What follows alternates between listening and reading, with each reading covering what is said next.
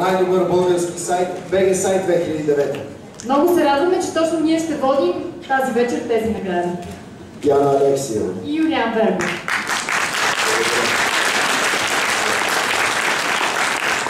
10 години. Това е много време. Представям си колко много аз съм се променил за тези 10 години, а какво остава за интернет. Да, ти много си се променил, несъмнено. Ти пък ми се трудно. За добро. А в България, едно нещо е сигурно. През тези 10 години са се раздавали награди и то на най-добрите. Всички значими онлайн проекти у нас притежават поне по една ступенка от BG сайт. А статуетките, така желани и мечтани, предполагам от всички вас, са дел на Иво Арнаудов, който проектира и изработва първите в далечната 99. Удар.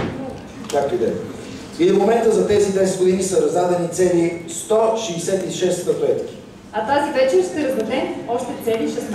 Да, ще раздадем, но преди това е редно да споменем тези, без които това събитие не би било възможно. И това са именаторите на имената на организатора, арбитъра и естествено спонсорите на конкурса.